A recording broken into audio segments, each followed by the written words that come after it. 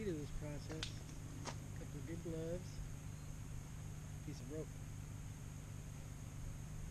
You can see this rope has loops tied in both ends. Those are going to mount on the corners of the plywood and I'm going to carry it one-handed. Here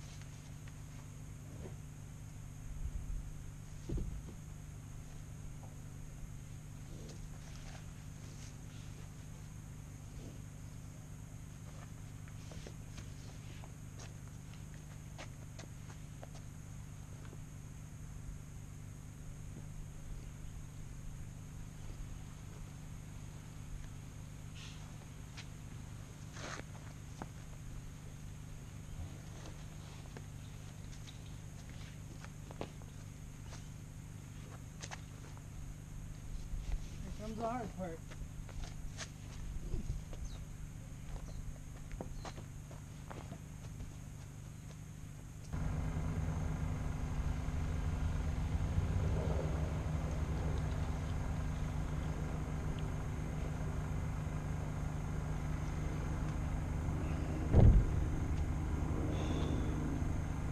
Yes, it's just that easy.